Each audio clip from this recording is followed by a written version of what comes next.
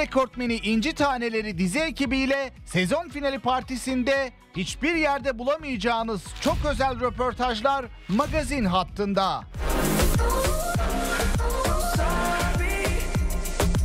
Manken Cansu Taşkın'la olaylı ayrılığıyla magazin gündemini uzun süre meşgul eden Yılmaz Erdoğan konuyla ilgili soruya ne cevap verdi? Az sonra.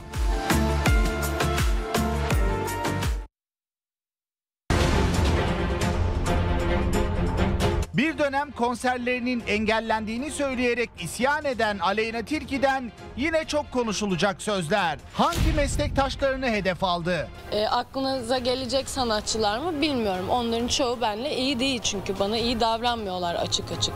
Genç yaşta şöhret basamaklarını hızlıca tırmanan Aleyna Tilki hangi bedelleri ödediğini itiraf etti. O ünün yükünü taşımak zorunda kaldığım çok fazla durum olduğu için Az sonra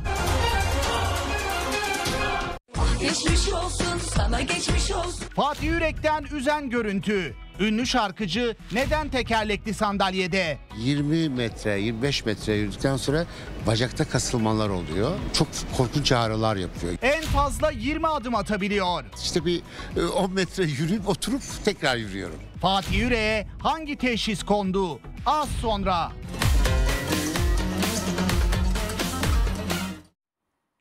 Ekranların en kaliteli magazin programı Magazin Hattı'ndan herkese günaydın. Ben Seda Torular. Şov dünyasında yaşanan son dakika gelişmeler ve çok özel görüntülerle hazırladığımız programımız yine dop dolu ve yine çok eğlenceli. Şimdi vakit kaybetmeden magazin dünyasının ünlü isimlerinden son gelişmeleri derlediğimiz keyifli bir haber turuyla programımıza başlıyoruz.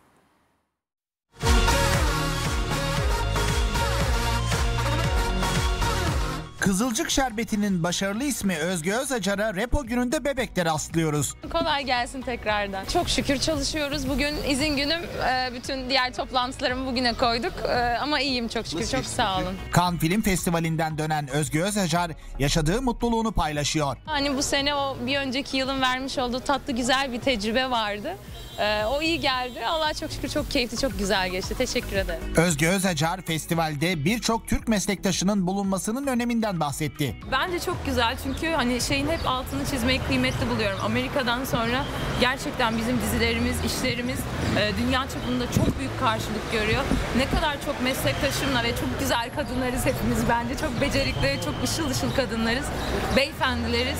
E, ne kadar güzel orada var olursak, burada izlersek bence memleketimiz için daha iyi olur. Ben çok mutluyum. Cannes Film Festivali'ne katılan isimler başta usta oyuncular Esra Dermancıoğlu ve Ahu Sungur tarafından ağır eleştiri yağmuruna tutulmuştu. Eleştirilenler arasında bulunan Özge Özacar bu konuyla ilgili neler düşünüyordu? Açıkçası hani festival ortamlarına ben başka bir gözle bakılması gerektiğini düşünüyorum.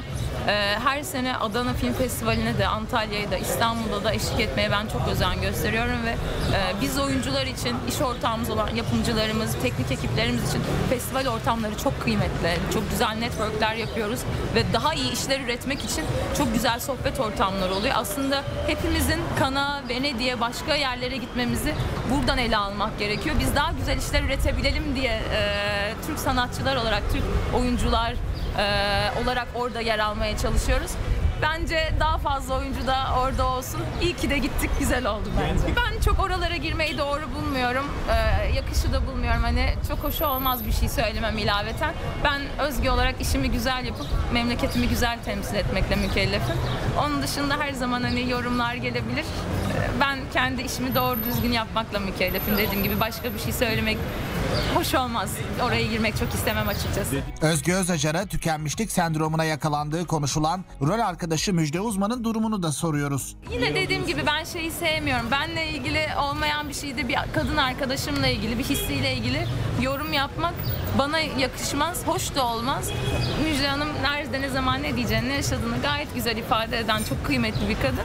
Benim ilave üstünde bir şey söylemem zaten hoş ve saygılı olmaz. Oralara girmek istemem. Çok sağ olun. Birçok oyuncunun sektörde yoğun set saatlerinden şikayet ettiği hatırlatılan Özge Özacar meslektaşlarına fazla katılmıyordu. Her işin bir zorluğu var. Her işin zorluğu var. Her meslekte şeyler var. Ee, Allah kolaylık versin hepimize onu diyebilirim. Güzel oyuncu Gülsim Ali'yi Bebek'te teknede görüntülüyoruz.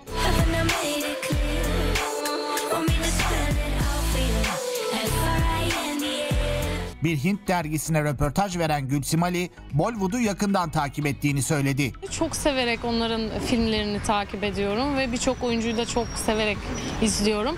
Belki bir gün neden olmasın Bollywood, Bollywood bir projesinde Yurt dışında sürpriz bir projede yer alabileceğini söyleyen Gülsim Ali bilgi vermek istemedi. görüştüğümüz bir proje var. Yurt dışında gerçekleşecek, gerçekleştirme ihtimali olan bir proje, bir film. İnşallah hayırlısıysa olur diyorum.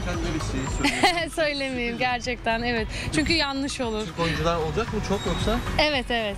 Çok fazla bilgi vermeyeyim ama e, eğer olursa çok güzel bir proje, güzel beğendiğim bir karakter. Hayırlısı diyelim. Kalbi uzun süredir boş olan Gülsim Ali aşka yeşil ışık yaktı. Artık evet yani ben de böyle e, mesleğime ve bana saygı duyacak e, birinin yanında olmasını isterim. Ama kısmet bu işler ya böyle zorlamayla olacak şeyler değil ya. Güzel oyuncunun sevgili adayında aradığı şartları neler öğrenmeye çalışıyoruz. Özellikle dikkat ettiğim bir şey yok gerçekten hani e, anlaşabileceğim aileme, bana, yaşam tarzıma ve hayatıma saygı duyması çok önemli. Ancak böyle anlaşabiliriz. Çünkü bizim meslek çok zor bir meslek. Yani normal insanların yani normal dediğim hani bizim piyasanın dışında birilerinin çok anlayabileceği bir hayatımız yok. E, saatlerimiz belli olmuyor, çalışma programımız belli olmuyor. Doğum günü veya özel günlerde bazen çalışmak zorunda kalıyoruz. Ki ben de mutlu bir insanım aslında bundan dolayı biliyor musunuz? Gülsüm Ali ailesi içerisinde annesinden evlen baskısı geldiğini itiraf etti. Annem. Annem diyor babam bir şey demiyor da annem hadi artık zamanım geldi diyor. Usta oyuncu Rutkay Aziz'i Nişantaşı'nda bir hastaneden çıkarken görünce sağlık durumunu merak ediyoruz. Onu merak ettik hastaneden çıktınız. İyisiniz. Arkadaşımı ziyarete geldim. İyiyim sağ ol. Büyük geçmiş olsun arkadaşınız adına o Sağ zaman. olun size de kolay gelsin. Kuruluş Osman dizisinin Fatma Sultanı Lea Kırşan'ı Etiler'de gerçekleşen doğum günü kutlamasında görüntülüyoruz. Kaç yaşına girdiniz? 16 oldum. Şaka yapıyorsun. Yok 16. Gerçekten mi? Lea Kırşan'ın yeni yaş dileklerini de alıyoruz. Ya, sağlıklı, huzurlu, mutlu bir yaş diliyorum kendime. Çok güzel bir yıl geçsin hepimiz için. Ee, sağlıkla, mutlulukla atlatalım bu yılı. Lea Kırşan, Kuruluş Osman gibi bir dönem dizisinde yer almanın kendi avantajlarını paylaştı. Dönem dizisi çok güzel. Aslında çok güzel de bir tecrübe kazandırıyor. Bütün zorlukları yaşıyorsunuz. Kılıç, at, e, o dönemin insanıymışız. insanıymışsınız gibi yaşıyorsunuz. Çok güzel bir deneyim oldu benim için. Usta sanatçı Perihan Savaş, sokak hayvanları için başlatılan bir sosyal sorumluluk projesinin öncüsü oldu. Gerçekten beni de çok heyecanlandıran bir proje bu. Ee, sorumlu restoran hareketi gerçekten çok önemli. Ee, öldürülmesi düşünen hayvanlarımızı biz korumaya çalışıyoruz. Ve atıklar o kadar dünyada artık e, ve Türkiye'de de olsun çok fazla atık oluyor. Çok fazla israf oluyor.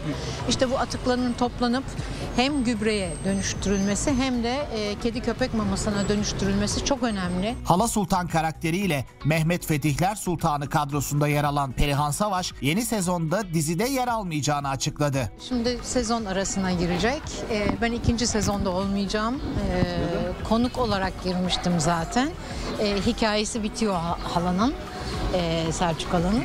O yüzden ee, bakalım başka projelerde inşallah. Biraz tatil yapmak istiyorum. İbrahim Çelikkol sevgilisi Natalie Yarcan'la el ele defileye katılırken çift kamera karşısına da birlikte geçti.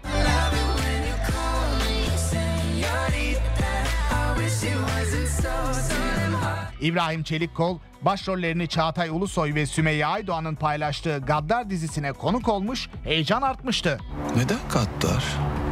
Çünkü çevrem kötü. Dizinin 7 Haziran akşamı 20. bölümle final yapacağı iddialarına da İbrahim Çelikkol'da cevap arandı. Hiçbir fikrim yok. Vallahi o işleri e, yapımcılar işte kendi işlerinde karar vermiştir. Hani onunla ilgili hiçbir fikrim yok, bilgim yok. Konuk oyuncu olarak girdim ben de zaten 3-4 bölüm. Gayet güzeldi, her şey keyifliydi. Ama final mi yaparlar, yapmazlar mı onun bilgisi bende yok. Sevgilisi Natalie Yarcan'a evlenme teklifi ettiği konuşulan yakışıklı oyuncu adeta düğün sinyali verdi. Her şey olabilir, her şey olabilir bu hayatta. Hayat bizler için. Tamam çok teşekkür ediyoruz. Sağ olun. Her şey olabilir bu hayatta. Çok sağ olun. Çok sağ olun. Bebek'te annesi Nil Nilgün'le görüntülenen sevilen popçu Nil Karataş, yazın gelmesiyle yeni şarkılarını peşi sıra piyasaya çıkaracağını söyledi. Şarkılar çıkıyor sırayla tek tek. En son bir tane çıkardınız. Yeni çıktı işte Sezen Aksu cover'ı. 30 yıl sonra çıkarttığım çok güzel bir şarkı olmadı gitti. Çok da güzel gidiyor. E işte yaz konserleri başlayacak. Yusuf Güney Gençlik Şenliği kapsamında Baba Eski'de sahneye çıktı. Sesim sesim sızlatıyor Elimden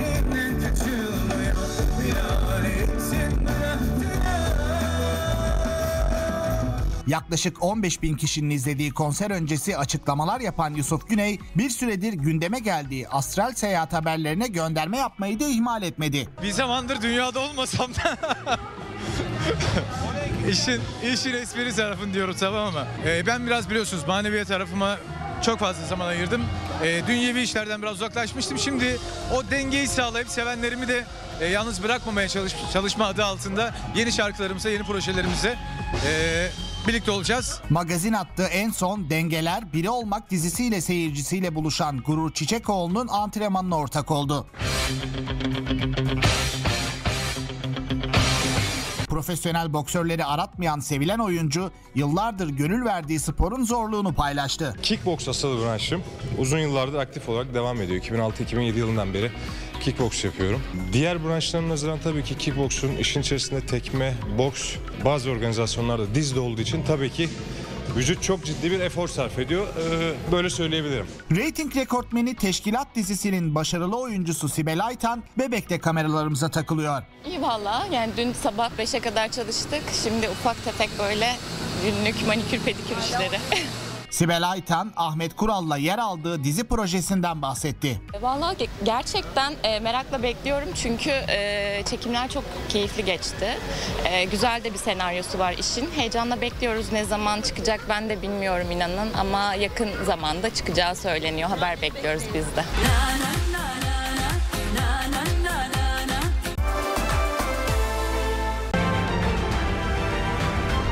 Meryem Uzerli ile başrollerini paylaştığı Ruh dizisinde bir aşçıyı canlandıran Burak Berkay Akgül'ün talihsiz mutfak kazası. Gerçekten ateş o kadar harlandı ki mesela saçımın ucunu falan yakmıştı böyle. Bir küçük bir anksiyete yaşadık orada. Sadece magazin hattında az sonra. Bir dönem konserlerini engellendiğini söyleyerek isyan eden Aleyna Tilki'den yine çok konuşulacak açıklamalar geldi. Genç yaşta şöhret basamaklarını çıkarken hangi bedelleri ödediğini itiraf etti. Hep birlikte izleyelim.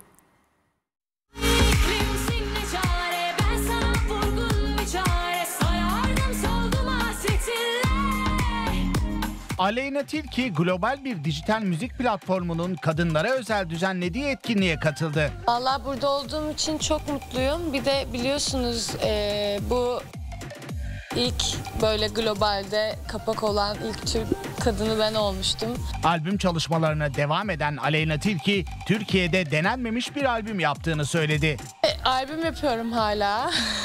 yani e, Nasıl gidiyor peki albümde? herkes böyle çıldırmış durumda işte net tarih ver net tarih ver falan diye ama Türkiye'de daha önce denenmemiş ve formülü olmayan bir şey yaptığım için e, yeni bir şeyi oluşturmak gerçekten zor oluyor. Yani hani böyle işte mix master yapmaya çalışıyoruz mesela. Çoğunun karakteri uymuyor. Çünkü daha önce böyle bir müzik yapılmamış. Yani nasıl anlatacağız mesela? Yani hani e, böyle anlaşmak birazcık uzun sürüyor falan. Herkes için yeni ilk bir şey olduğu için bu yani hepimiz için deneyerek ve yanılarak aslında oluyor. Peki yapılmayan bir şeyi deneme durumunu Aleyna Tilki risk olarak görüyor muydu? Ne için risk? Yapılmamış bir şeyi sunmak risk midir sizce? Ne için risk ama? İşte risk midir? Dinlenmemek gibi mi mesela ya da işte bunlar benim kariyerimde risk teşkil etmiyor yani. Hani ben e, zaman yani bir sürü dinlendim zaten. Hala da listelerde şarkılarım var. ilgili. Hani dinlenmeyle ilgili bir beklentim yok. Müzikal beklentilerim var artık yani. Çünkü yeteri kadar dinlendim, dinleniyorum hala. Çıkarttım tüm şarkılar hit oldu. Albümü yaparken en ufak bir hani acaba işte anlaşılır mı bu tarz ya da işte acaba bu kaç milyon dinlenir falan diye hiç düşünmedik yani. Böyle düşünerek yaptığım albümler de oldu. Dikkatinizi çektiyse onları çıkartmadım zaten. Başarılı çalışmalarıyla adından söz ettiren Aleyna Tilki kendisini müzik dünyasında nerede görüyordu öğrenmeye çalışıyoruz. Ben ifade etmek istemiyorum. Ee, albümüm çıktıktan sonra zaten bu müziğin, Türkiye'deki müziğin neresinde olduğumu insanlar görecek yani. Öyle az laf çok iş daha iyi olduğu için.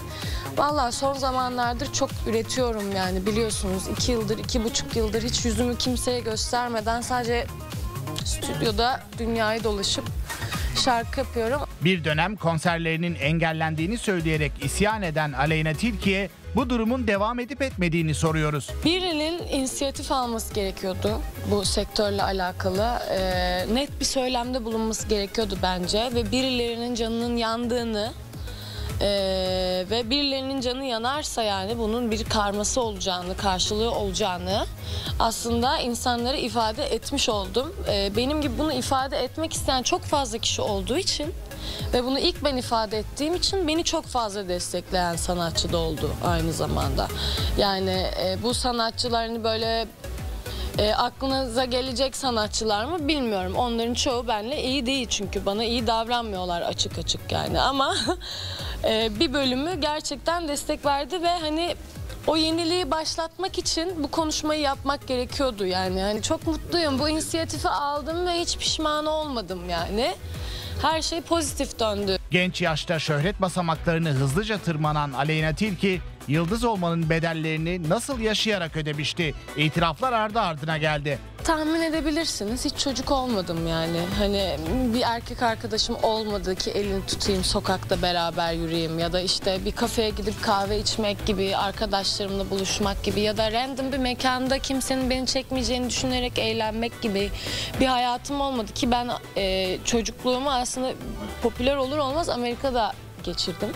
Ama hani ünüm öyle bir noktaya geldi ki hani Amerika'da da rahat edeme, edemez ve hani orada da o ünün yükünü taşımak zorunda kaldım çok fazla durum olduğu için çocukluğumu hiç yaşayamadım. Zaten benim ünlü olmadan önceki hikayemde de bunu yaşayamadığım söz konusuydu aslında insanlar bilmese de. Yaşayamadım. Bir insanın çocukluk kaybetmesinden daha büyük bir şey olabilir mi? Olamaz ama e, o yüzden de biraz çocuk kalmış olabilirim belki. E, bu çocukluğumu da coşkuya dönüştürmeye ve hani yetişkin kimliğimi deki çocuğu yani coşkuyla ifade etmeye çalışıyorum. Aleyna Tilki yeni albümünün ismini de ilk kez açıkladı. Kırlar albümümün ismi de evet oradan da anlayabileceksiniz işte çocukluktan bahsettim. Çocukluğumda böyle 5-6 yaşımdaki en güzel çocukluk anılarımdan birisi kırların içinde koştuğum günlerdi.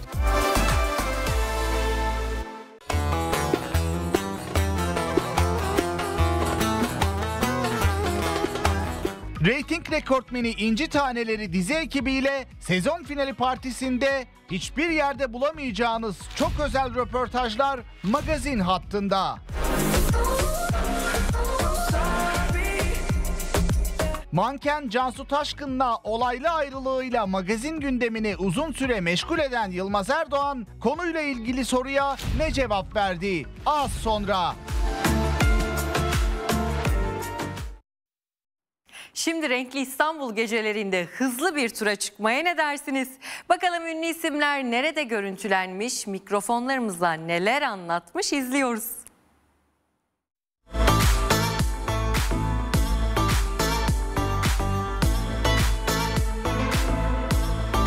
Kızılcık Şerbeti oyuncuları Sıla Türkoğlu, Serkan Tınmaz ve Emrah Altın Toprak Nişantaşı'nda bir kafede objektiflere takıldılar. Mekanda koyu bir sohbete dalan ekip arkadaşları bir arada çocuklar gibi ateri oynayarak keyifli vakit geçirdiler. Gün sonu mekandan ilk ayrılan Sıla Türkoğlu oldu. Güzel oyuncu soruları yanıtsız bırakırken geçen hafta Etiler'de alkollü trafik çevirmesinde yakalanıp ehliyetini kaptırdığı için taksiye binerek uzaklaştı. Teşekkür ederim. Talihsiz bir olay yaşadım. Şey söylemek Evrim Hanım da bugün karşımızda bir serseri görüntüledi. Olaylardan dolayı mı gitmek istemedi?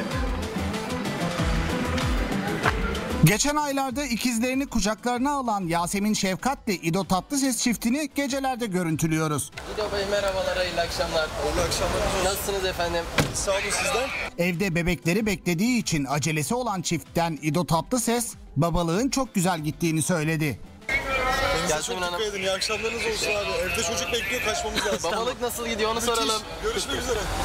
Güzel oyuncu Tuğba Ünsal'a Bebek'te bir davet çıkışı rastlıyoruz. Merhabalar Tuğba. Nasılsınız? İyi akşamlar. İyi misiniz? İyi akşamlar. Nasıl geçti eğlence? İyi miydi? Ee, evet ilk e, medya sektörünün bir daveti var. Mehmet Fetih Sultanı dizisinde Mara Hatun karakterine hayat veren Tuğba Ünsal, yorucu geçen iş temposu sonrasında sezon finalini dört gözle bekliyordu. Çok keyifli gidiyor. Sezon olarak işte son birinci bölümdeyiz. Uzun ve büyük bir sezon geçirdik. O yüzden yorulduk.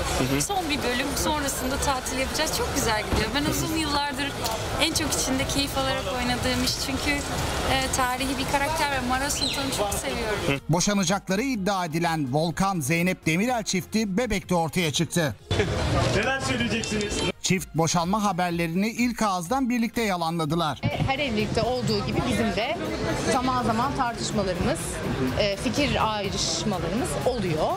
E, Fakat e, teyit etmeden e, bir dava açılmış gibi bunun haber yapılması, sonuçta bizim iki çocuğumuz var ve biz onları gözümüzden sakınıyoruz. E, Böyle bir şeyi doğru bulmuyorum. Çünkü böyle bir şey yok. Bu tamamen yalan bir haberdi ve e, biz çocuklarımızı korumak adına e, çok strese girdik o gün. E, rica ediyorum e, bizden sonra da olur da böyle bir şeyler yapılmasın. Çünkü bu e, sen ne diyorsun? Yani bu çok vicdansızca bir bir hareket bence. Her şey yolunda. Komedyen Yasemin Sakallıoğlu Bostancı Gösteri Merkezi'nde sevenleriyle buluştu. Gözlerimizi kapatalım. Açıklar var. Bu şekilde şifa bulamayız. Kendimizi Sosyal medyada çekmiş olduğu videolarla çok konuşulan Yasemin Sakallıoğlu en son Çağla Şikel'in meditasyon görüntülerini tiye almıştı. Bu akşam da bizim Kapalı de, oda. e, bu akşam bizim de bir meditasyonumuz var Bostancı'yı. Zengin işi mi olacak E, diyelim o bizimki mi? Bizimki Evet. orta halde bir iş olacak. Bostancı'da bir kapalı oda gibi düşünün. Sanki bir odaya 2500 kişiyi sığdırmışsınız gibi düşünün. Bir ufak meditasyonumuz olacak bizim de bu akşam. Yasemin Sakallıoğlu'nun son dönemde erkek meslektaşları Cem Yılmaz'la Hasan Cankaya arasında yaşanan gerilime yorumu merak edildi. Komedinin tuzu biberidir. Her zaman olacaktır. Bu yıllardır oluyor. Hep oluyordu. Herkes arasında oluyordu. Ee, yeni bir şey değil. Olmaya da devam edecektir yani. Ne mutlu ki böyle bir komedyen e, genç bir komedyene laf atıyor. Bu güzel bir şey değil midir yani? Uzun zamandır ortalarda görünmeyen Ekin Türkmen'i Cihangir'de görüntülüyoruz. Gecede mi ya saat Gece daha iyi akşamlar diyelim. İyi akşamlar. Kudüs Fatihi Selahattin Eyyubi dizisinde Melike Hatun karakteriyle beğeni toplayan Ekin Türkmen, projesinin sezon finaline doğru yaklaştığını söyledi. Güzel gitti. Sezonu kapatıyoruz şimdi. İki bölümümüz kaldı. Ee, onu çekim. Biz biraz önden gidiyoruz tabii. Onun çekimleri. Ee, sezona devam edeceğiz. Güzel gidiyor. Çok keyifliyiz. Ratinglerimiz çok güzel. Yolunda her şey. Uzun süredir kalbi boş olan güzel oyuncu aşka küskünlük mü yaşıyordu? Yani aşka karşı bir küskünlüğüm ol- yok. Yani olmaz. Aşk güzel bir şey. Ee, şu an hayatımda kimse yok. Bir röportajında evlilikten uzak durduğunu söyleyen Ekin Türkmen halen aynı düşünceleri taşıyor muydu? Yeni verdiğim bir karar değil. Eskiden beri evliliğe karşı biraz korkum var diyeyim. Ee, bizim özellikle hmm, çevremizde sektörel ya da meslektaşlarım diyeyim evlilikleri çok uzun sürmüyor. Ee, biraz bana travmatik geliyor. Ee, o yüzden biraz korkum ve şeyim var. Yani hmm, karşı değilim ama inancım yok diyeyim. Ekin Türkmen meslektaşı Müjde Uzman'ın tükenmişlik sendromu yaşamasıyla ilgili birçok oyuncunun aynı durumu yaşadığını ancak sakladığını iddia etti. Her oyuncu bu süreci yaşıyor. Bazıları paylaşıyor ve bazıları paylaşmıyor. Çok zor şartlarda çalışıyoruz. Her mesleğin zorlukları vardır ama biraz psikolojik olarak da zorlanıyoruz. Ee, 18 saat, 20 saate yakın çalıştığımız zamanlar oluyor. Ee, psikolojik zorlukları da var çünkü dışarıdan gelen dış etkenlere açıksınız. Bütün sosyal medyada sizi konuşulabiliyorsunuz. Magazin sizin kontrolünüz olmadan haberler yapabiliyor. Doğru haberler, yalan haberler olabiliyor. Yani psikolojisi zor. Birce Akalay şimdilerde Hakan Kurtaş aşkıyla magazinin göz bebeği. İlişkisiyle ilgili sorularsa kısa ve öz cevap buldu. İlişkimi değerlendirmiyorum. Yani ilişkimi değerlendirmiyorum ama güzel giden bir ilişkimiz var çok şükür. Ee, mutluyuz diyelim. Yeterli olsun. Sevgilisi Hakan Kurtaş'ın Serenay Sarıkaya ile rol aldığı Kimler Geldi Kimler Geçti dizisine yorumu sorulan Birce Akalay adeta dizinin hayranı olmuştu. Çok beğendim. Çok yani hakikaten to the point böyle tam bu zamandaki gençlerin yani daha doğrusu 30 yaş 40 yaş herkese çok hitap edecek. Böyle ben bir solukta zaten bir gecede izledim bitirdim. Herkes çok güzel oynuyor. Zaten çoğu arkadaşım. O yüzden tebrik ediyorum herkese. Güzel oyuncunun kilo verdiği de dikkatlerden kaçmadı. Şimdi şöyle bir şey bir ara almıştım yine birazcık verdim ama yani öyle benim kilom çok oynamıyor yani çok değişmez. Aynıyım genel olarak. Dikkat ediyorum beslenmeme. Uzun zaman sonra ekranlara dönen Meryem Uzerli başrolünü Burak Berkayakgül'le paylaştığı Ruh dizisinin galasında heyecanını paylaştı. Em, dram dolu bir dizi. Gülmek de var. Her şey var ve biz şu anda çok heyecanlıyız. E, Bu bu galayı bir buçuk yıl bekledik. Em, bir em, zaman geçti. Bütün oyuncu arkadaşlar olarak çok mutluyuz. İki bölüm izledik şu anda ve şu anda yayında ve em, çok çok mutluyuz geldiğiniz için de teşekkür ederiz. Dizide bir aşçıyı canlandıran Burak Berkayakgül ise yaşadığı set kazasını ilk kez magazin attı kameralarıyla paylaştı. Bu galiba ilk bölümdeydi. Mutfağa ilk girdiğim sahnede şimdi Uzer ilk defa mutfakla tanışıyor. Ee, öyle bir oyun alanına kendince ilk defa giriyor. Orada işte e, bir şefimizin ateşle oynadığı sahnede gerçekten ateş o kadar harlandı ki mesela saçımın ucunu falan yakmıştı böyle. Bir, küçük bir anksiyete yaşadık orada Ee, ama sıkıntı olmadı. Bu küçük set kazası Burak Berkayakgül'ün aşçılığa olan merakını etkilemedi. Artık mutfak özel ilgi alanı içine girdi. Her yeni hobinin en büyük başlangıcı merak. Ve bu benim de bu işe merakım var. Başladı ve zaten evde sürekli yapmaya başladım. Çalışıyorum da yeni şeyler öğrenmeye çalışıyorum. Bence devam ederim. Zafer Algöz dizide bir aşçıyı canlandırmakla kalmadı. Adeta profesyonel bir şefe dönüştü. Benim için enteresan bir deneyimdi. Çünkü hayatımda ilk defa bir aşçıyı oynadım. Ama bu işi yaptıktan sonra şunu hepimiz anladık ki yemek yapmak öyle kolay bir iş değil. Çünkü gerçekten bir sanat. Çünkü her şeyin bir pişirilme süresi var, bir sıralaması var. Hatta kesim biçimi bile çok farklı. Yani patlıcanı şöyle kesersen daha çabuk pişer, böyle kesersen daha geç pişer. Onlara kadar, bütün ayrıntılarına kadar elimizden geldiğince bize verilen rollerin hakkını vermeye çalıştık. İlişkisini göz önünde yaşamayı tercih etmeyen Şevval Sam, galaya sevgilisi Cem Topçuoğlu'nun kolunda girdi.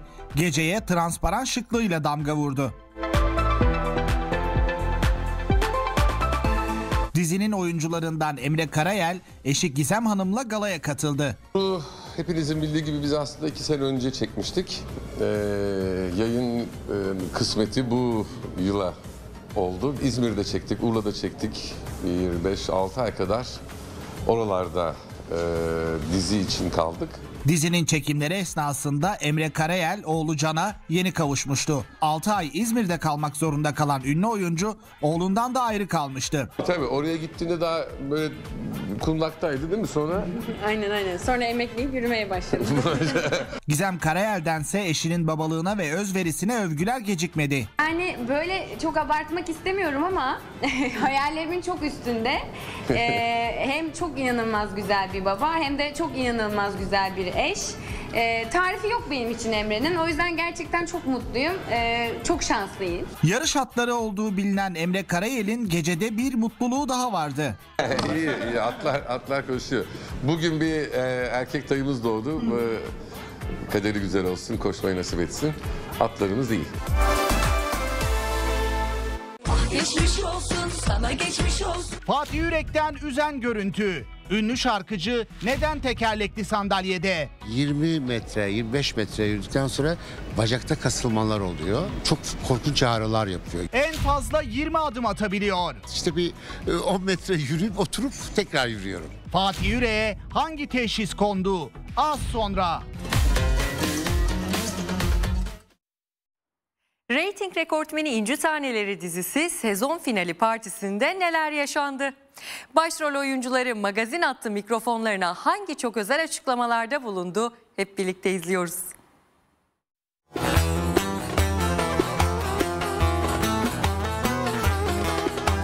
Bu yılın en çok ses getiren projesi İnci Taneleri dizi ekibinden sezon finali partisinde magazin hattına özel açıklamalar.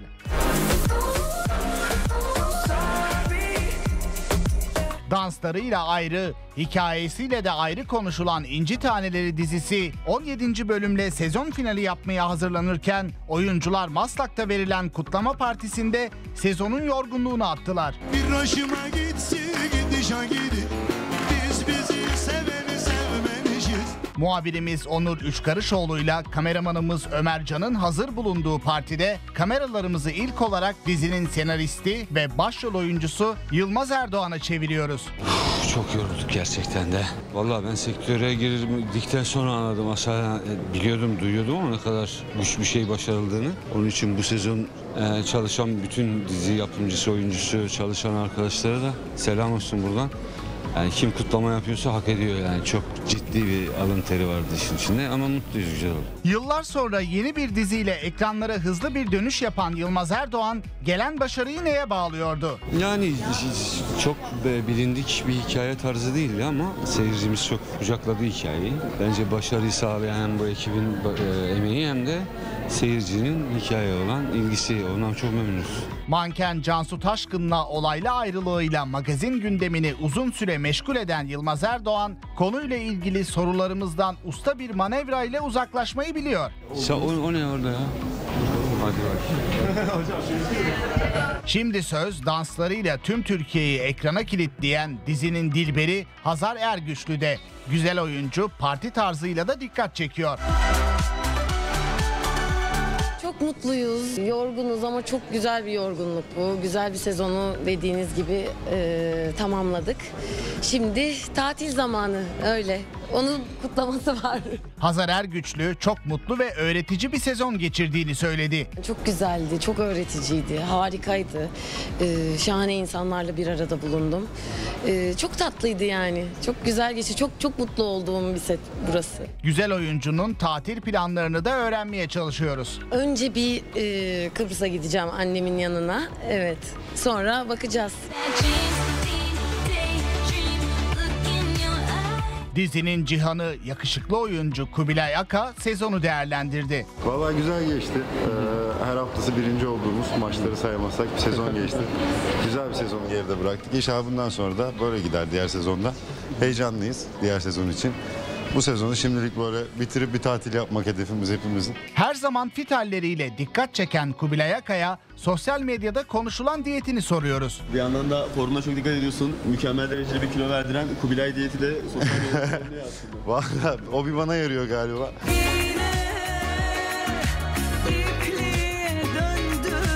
Sesi kısık olan Rıza Kocaoğlu dizinin başarısıyla yaşadığı mutluluğunu dile getirdi. Çok mutluyuz tabii ki. Çok güzel bir ekip çalışması oldu. Çok güzel bir hikayeyi kitlelerle buluşturdu. Ben de bir parçası olduğum için çok mutluyum. Rıza Kocaoğlu yoğun iş temposunda sporunu da aksatmıyor. E, o bir hayatımızın şekli. Yazın sizi merakla bekliyoruz. Yaz tatilinde çekmeyin. 80 beklemiyorsundur inşallah. Dizinin pirayesi Selma Ergeç keyifli bir sezon geçirdiğini söyledi. Yani çok keyifli geçti. Yorulduğumuzu, yani ben çok anlamadım ama e, yönetmenimiz biraz daha fazla yorulmuştur. Yani çok keyifli geçti. E, umarım sezona da böyle keyifli devam eder. Ne diyeyim? Onur Akbay da dizinin başarısına değinirken tüm ekip arkadaşlarından övgüyle bahsetti. Bizim için çok güzel bir sezon oldu. Sürekli zaten reyting birincisiydik. Başarılı bir sezon oldu. Öncelikle bütün ekip arkadaşlarıma, bütün çalışanlara, emek veren herkese çok teşekkür ediyorum. Ee, kanalımıza teşekkür ediyorum. Yapımımıza teşekkür ediyorum. Bizi izleyen herkese çok çok teşekkür ediyorum. Yakışıklı oyuncu yazın boş durmayacağını ve yeni birkaç sinema filmiyle görüştüğünü açıkladı. Görüştüğümüz birkaç proje var yaz için. Ee, birkaç sinema filmi var.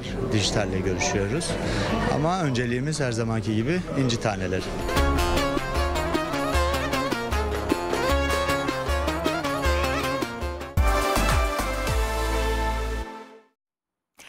Dönüşünde tekerlekli sandalyede görüntülenen Fatih Yürek sevenlerini nasıl endişelendirdi? Ünlü şarkıcı sağlık durumunu sadece magazin hattına açıkladı. İzliyoruz.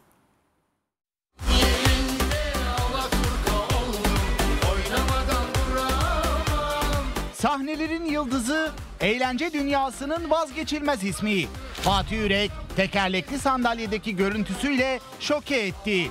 Geçmiş olsun sana geçmiş olsun Kıbrıs dönüşü sadece magazin hattı kameralarının kayıtta olduğu o anlarda Fatih Yürek son sağlık durumunu ilk kez muhabirimiz Onur Üçkarışoğlu ile paylaştı. Çok büyük geçmiş olsun. Sağ olun. Siz de böyle görünce e, panik oluyor sevenleriniz. Yok. Çok gayet iyiyim de yürüme problemi var. Önceden yediğin hurmalar sonra tırmalar ya o misali. Geçmiş olsun dilekleri iletilen Fatih Yürek endişelenecek bir durum olmadığını paylaşırken yaşadığı sağlık sorununu anlattı. Pandemi öncesi çok spor aşırı yüklendiği için belimde daralma oldu. Sonra pandemiyle beraber gelen o hareketsizlikten dolayı fıtığa çevirmiyor fakat e, şimdi size raporuma arasılıyorum. Spinostenoz diye bir ta- tanı kondu. 20 metre, 25 metre yürüdükten sonra bacakta kasılmalar oluyor. Çok korkunç ağrılar yapıyor. Sadece yürüyüşlerde ama. Fatih Yürek, omuriliğinde meydana gelen kanal daralması yüzünden artık yürüyemediğini paylaştı. Neredeyse her 20 adımda bir dinlenme molası verdiğini sözlerine ekledi. Düzgün yürüdüğün zaman kasılıyor. Ben yurt dışına falan gittiğim zaman da yürüyemiyorum. Biraz işte bir e, 10 metre yürüyüp oturup tekrar yürüyorum. Yürümekte zorlanan Fatih Yürek'in yaşadığı sağlık sorunu sahnelere çıkmasına ise engel değildi. Sahnede ama efendim devleşiyorsunuz. Tabii. Bir- Böyle bir şey var yani. Şimdi raporumu arıyordum size göstermek için. Ee, öyle bir raporum var yani e, hastane raporu. E, doktorumun raporu hatta. Şimdi aslında kötü bir şey diye düşünüyorsunuz ama e, maalesef böyle bir durum yani. Magazin hattı uçağa binmesinde sakınca görünmediği fakat spinal stenoz tanısı nedeniyle uzun yürüyüşlerin uygun olmadığı için tekerlekli sandalye ile refakat edilmesi gerektiğini belirten rapora da ulaştı. Çok hareketli olduğum için fıtığa çevirmemiş. Be- Belimdeki o daralma hareketli bir oynuyorum ya yılan dans yapıyorum. Ama e, oturduktan sonra bu olay oturduktan sonra oturduktan sonra maalesef ayağımda böyle problem var. E, ki ben aslında çok hareketli olmama rağmen böyle bir şey olabiliyormuş. Yani çok özellikle bu alanlar çok beni. Yaşadığı sağlık sorununa rağmen oldukça pozitif olan Fatih Yürek, sevenlerinin içini rahatlatmaya devam etti. Teşekkür ederim. Çok sağ olun. Çok önemli bir şey değil merak etmeyin yani. Sevenlerinizi içine su serpmiş oldunuz. Teşekkür ederim. Çok mersi.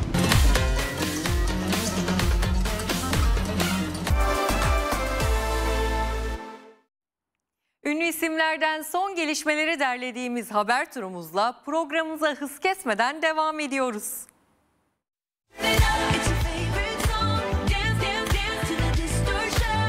Bestemsu Özdemir'le Nişantaşı'nda çok özel sohbet gerçekleştirdik. Güzel oyuncu şık sokak tarzıyla dikkat çekti.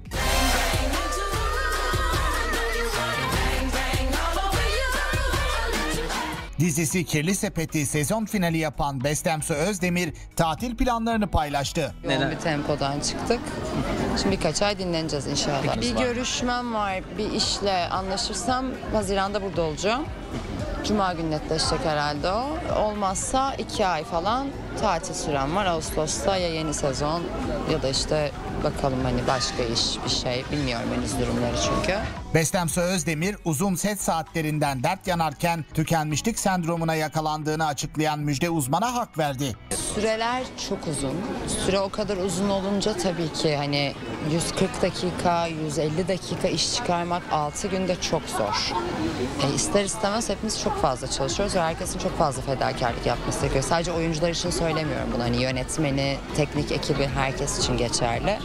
Süreler değişmediği sürece de se- set şartları aynı şekilde kalmaya devam edecek. Yapacak hiçbir şey yok yani. Bestemsu Özdemir zorlu meslek şartları karşısında psikolojik yardım aldığını itiraf etti. Hepimizin var bence. Benim de var tabii ki doktorum. Çok seviyorum Jülide'yi. Hepimizin her anlamda var burada. Bizim sektörde olmasına gerek yok bence. Çok zor bir dönemde hayatta kalmaya çalıştığımızı düşünüyorum her anlamda.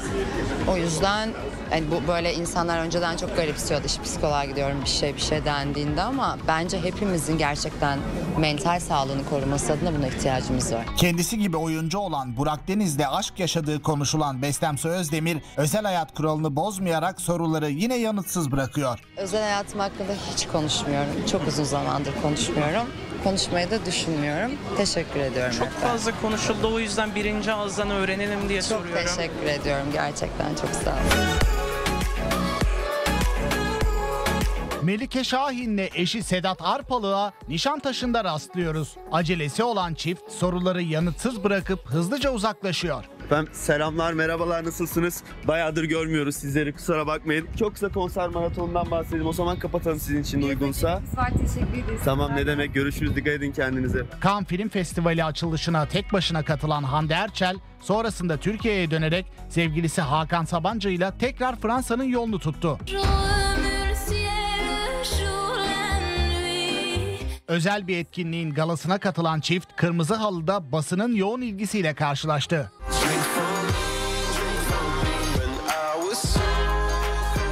Sevgililere Fransa'da Hakan Sabancı'nın küçük kardeşi Kerim Sabancı da eşlik etti. Adı Şeyma Subaşı ile anılan Kerim Sabancı, Kanda model sevgilisi Carmella Ross'la poz verdi.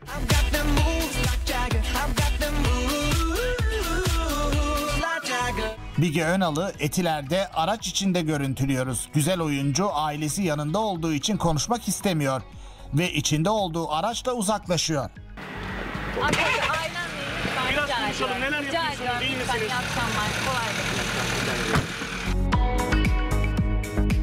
Cannes Film Festivali'ne eşi Özge Gürel'in yanına giden Serkan Çayoğlu Fransa'dan yalnız döndü. Güzel geçti, kısa geçti ama güzeldi. Evet, kısa Bir gündü oldu. benim için. Evet. Evet. gittim geldim. Şimdi aynen doğrudan sete gidiyorum. Mehmet Fetihler Sultanı dizisinde rol alan Serkan Çayoğlu, Repo gününde kana uçarak eşine sürpriz yapmıştı. Böyle bir şey oldu, bir gelişme oldu. Boşa çıktık. Ee, bir repo yaptık.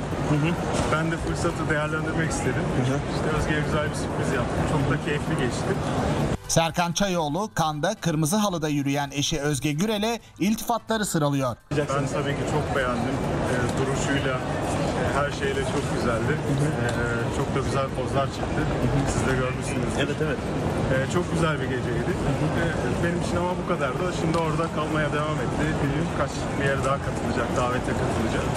Ben de dediğim gibi maalesef sete gidiyorum. Serkan Çayoğlu dizisinin sezon finaline yaklaştığını söylerken gelen reyting sonuçlarından duyduğu mutluluğu paylaştı. E, Son iki haftamız e, çok güzel gidiyor. İşte bugün de dünkü dün akşamki bölüm de çok beğenilmiş. Güzel yorumlar geliyor. Ben izleyemedim doğal olarak ama bakacağım gidince. E, güzel yani her şey keyifli. Evinin bahçesinde top oynadığı sırada düşerek omuzunu üç yerden kıran Hasan Cankaya'yı Ulus'taki hastane çıkışı görüntülüyoruz. Geçmiş olsun diyelim. Sağ ol çok teşekkür ederim kral. Komedyen iyileşme sürecini hızlandırmak için her gün fizik tedaviye geldiğini belirtti. E, Fizik tedaviye geldim günde iki defa geliyorum. Saat tabii bu saat normal bir saat değil de e, böyle müsait oldum böyle gelebildim. Yani e, istesem gündüz de gelirim de bugün böyle tercih ettim. Hasan Cankaya omuzunu kırdığı dönemde meslektaşı Cem Yılmaz'la polemik yaşamış, kısa bir sakatlık yaşadım. Yerime veteran komedyenler liginden Cem Yılmaz girmiş demişti. Komedyene ironi içeren bugün hastaneye gelirken yerinize nöbetçi bir komedyen bıraktınız mı şeklindeki soruyu yöneltiyoruz. Bugün hastaneye gelirken yerine nöbetçi bir komedyen bıraktım abi. Estağfurullah kardeşim yok bırakmadım. Bu işler nöbette olmuyor biliyorsun. Gönüllü kim varsa o güldürüyor. Eminim onlar da birini bulmuşlardır. Çok teşekkür ederim. Ben teşekkür ederim. İyi akşamlar estağfurullah. İyi akşamlar. Kenan Doğulu'yu doğum gününde çıkarmaya hazırlandığı yeni şarkısı Kahve'nin klip çekimi sırasında bornozlu görüntülüyoruz. Kahve şarkısının klip çekimiydi sanırım. Evet ya nereden biliyorsunuz gizliydi bu. Doğum gününüzde çıkacağını da duyduk şarkıda. 31 Mayıs kahve çıkıyor inşallah. Bugün onun çekimindeyiz. Kostümü çekmeyin. Kenan Doğulu şarkısının tam yaz parçası olduğunu söyleyerek iddialı konuştu. Yaz geldi harika şeyler olacak inşallah. Bu yaz sizin yazınız olabilir o zaman Kenan Bey. Evet, iyi akşamlar görüşürüz. Çok Kendinize iyi bakın. Beren Hanım'ı göremedik ama Boks ve kickboksun önde gelen isimlerinin mücadele edeceği Mega Fight Arena 5 Ekim'de gerçekleşecek. Gecede Aya Nakamura ve Otilia gibi isimler konser verecek.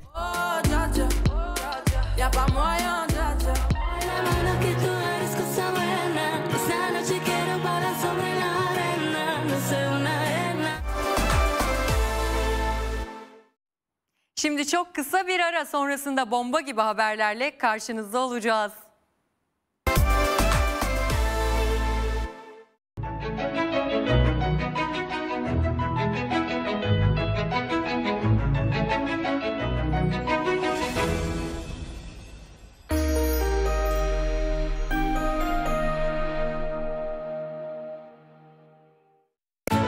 Bu salı BİM'de Köpeti Marseille duş jeli 75 lira.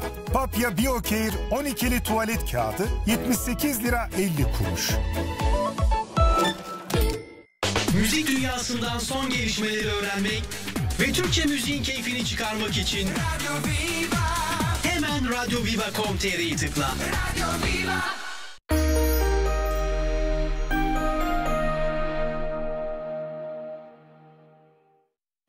Siyasette olup bitenler, dünyanın konuştuğu meseleler. Güvenlik, savunma ve ekonomi alanındaki son haberler farklı bakış açılarıyla doğru yorumda konuşuluyor. Türkiye'nin etrafı nasıl ateş çemberi haline geldi? Suriye, Irak, İsrail, Filistin, Rusya, Ukrayna, Çin, Tayvan ve her denklemin içerisindeki ABD ile nasıl bir döneme giriliyor? Dünya planlı bir iklim krizinin eşiğinde mi? İnsanlığın öncelikli problemi hayatta kalmak mı olacak? Son yıllarda medyada şifacılık nasıl yayıldı? İnziva, öfke ritüeli gibi çalışmalarla ne amaçlanıyor? Şifacılığın kökleri Kabala ve paganizme mi dayanıyor? Başak Şengül soruyor. Güvenlik politikaları uzmanı Mete Yarar, Hürriyet gazetesi yazarı Nedim Şener, İstanbul Aydın Üniversitesi öğretim üyesi Doktor Ramazan Kurtoğlu ve gazeteci yazar Gürbüz Evren yanıtlıyor. Başak Şengül'le Doğru Yorum bugün saat 20.30'da TV yüzde.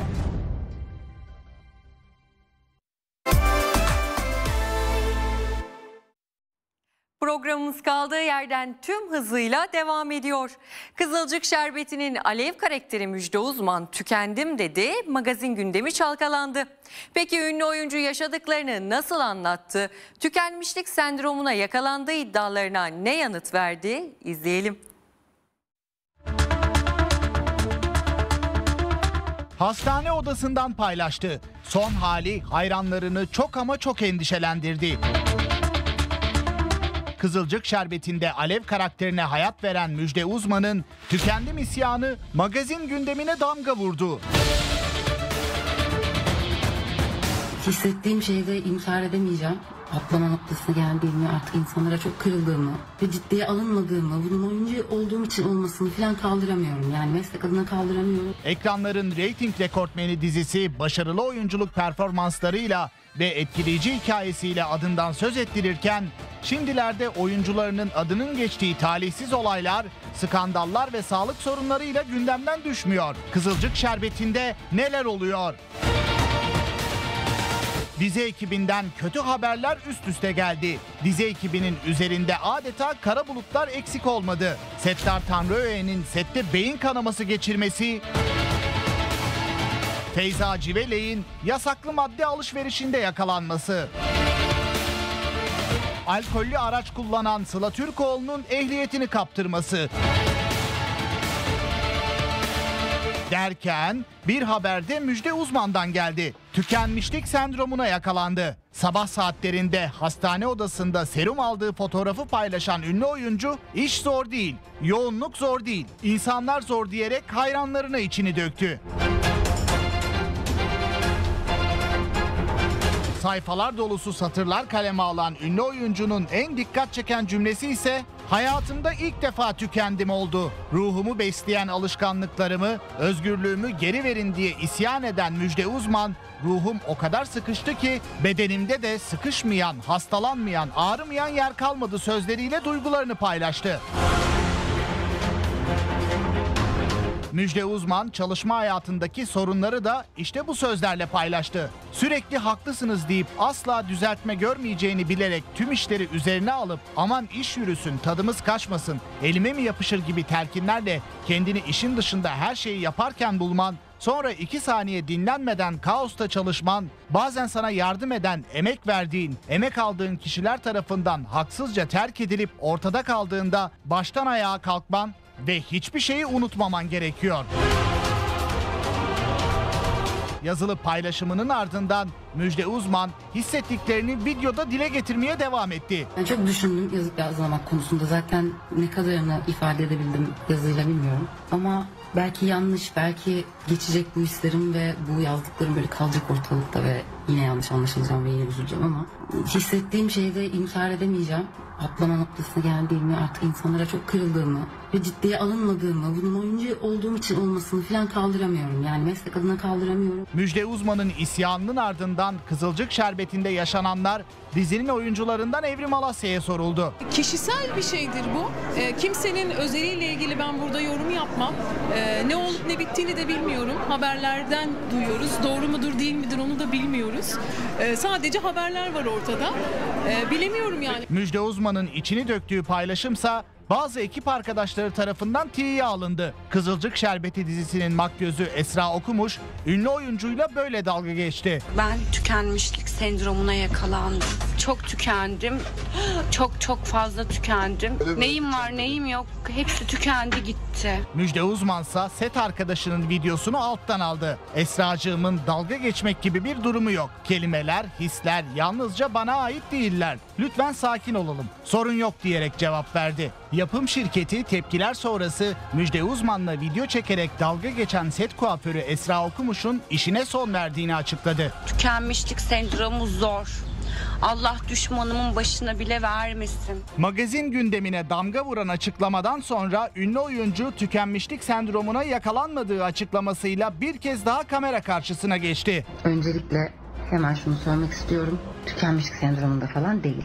Yani bu haber kendine haber sitesi diyen ve başkalarının hayatı üzerinden sonsuza kadar internette kalacak. Yani bir gün insanlar araştırma yaptığında bu yanlış haberleri, bulacağı haberleri yaptıkları için o siteleri kınıyorum. Müjde Uzman hastanede olmasının sebebini de açıkladı. Tükenmişlik sendromu değil astım. Tedavide değilim, astımım kötü, astım tedavisi oluyorum. Bunu zaten bir iki senede bir astım krizi olduğu için hep yaşıyorum. İki konuyu da birbirinden ayıralım.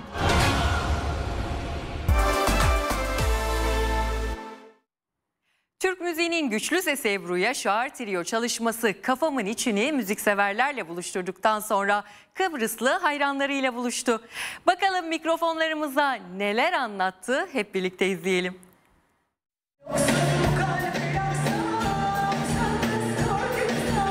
Türk müziğinin güçlü sesi Ebru Yaşar 19 Mayıs Atatürk'ü anma Gençlik ve Spor Bayramı'nı yavru vatanda karşıladı.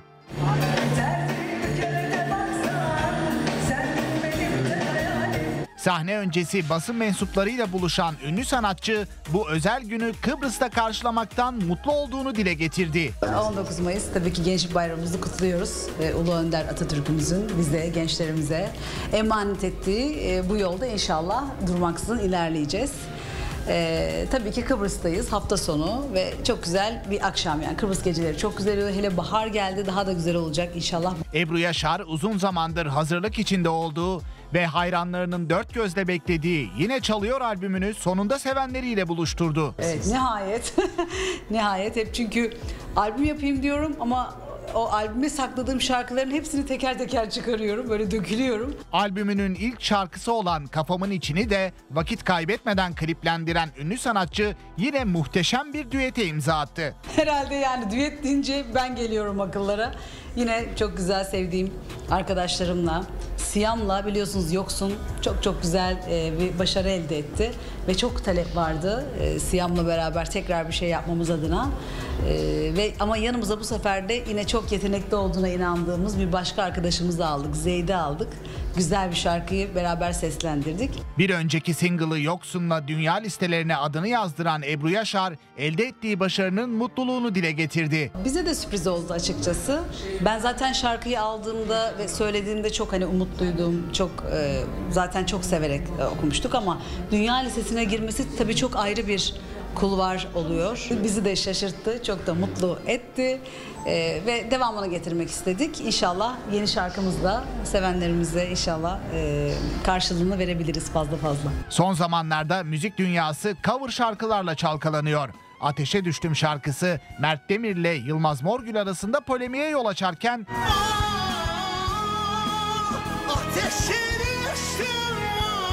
Tiryakinim cover'ıyla listeleri sallayan Bayhan'ın kendine özgü yorumu tartışmaları da beraberinde getirdi. Son bir isteğim senden bir daha deneyeyim Bunca yıl sonra yine bu istek çok mu söyle Ebru Yaşar müzik dünyasında son zamanlarda yaşanan cover şarkı tartışmasını da yorumladı.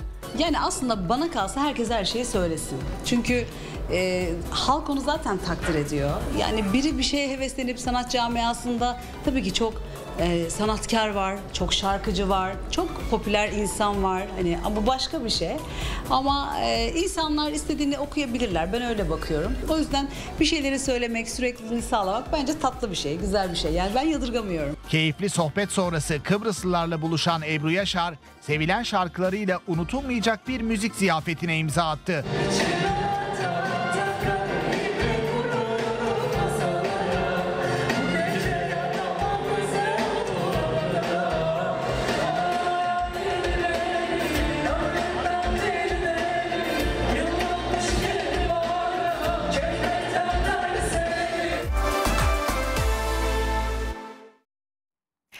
İstanbul Büyükşehir Belediyesi tiyatrolarının Cumhuriyetimizin 100. yılına özel hazırladığı Bu Memleket Bizim tiyatro oyunu yeniden sahnelere taşındı. 500 kişilik dev kadrosuyla muhteşem bir görsel şölene imza attı.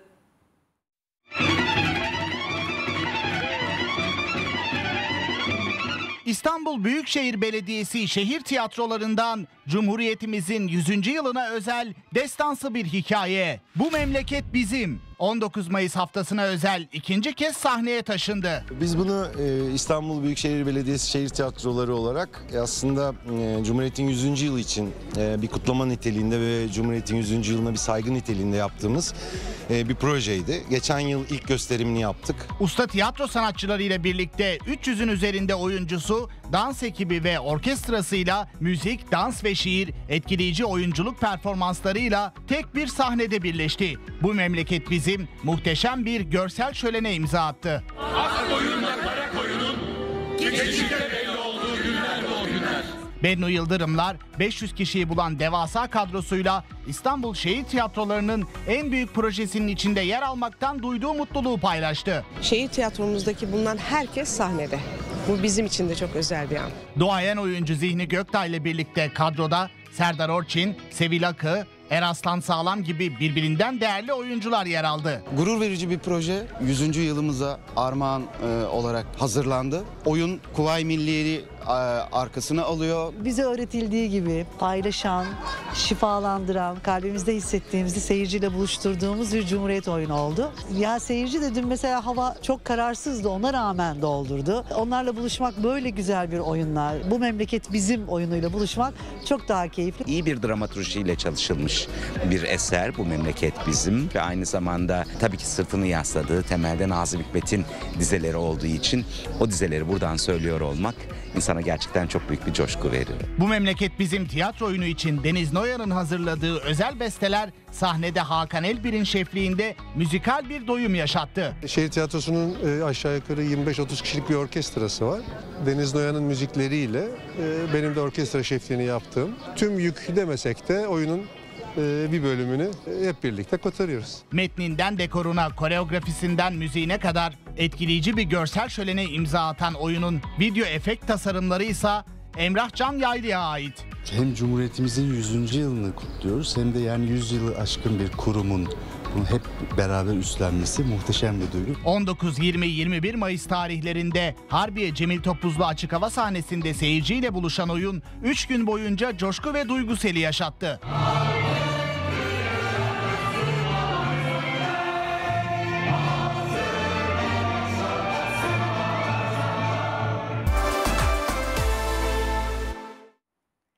Maalesef bu haftada magazin hattının sonuna geldik. Bizden sonra Elif Tümen'in sunumuyla haberler sizlerle birlikte olacak. Biz de efendim haftaya yine aynı saatte şov dünyasından çok özel haber ve görüntülerle karşınızda olacağız. Sağlıklı ve mutlu bir gün diliyoruz.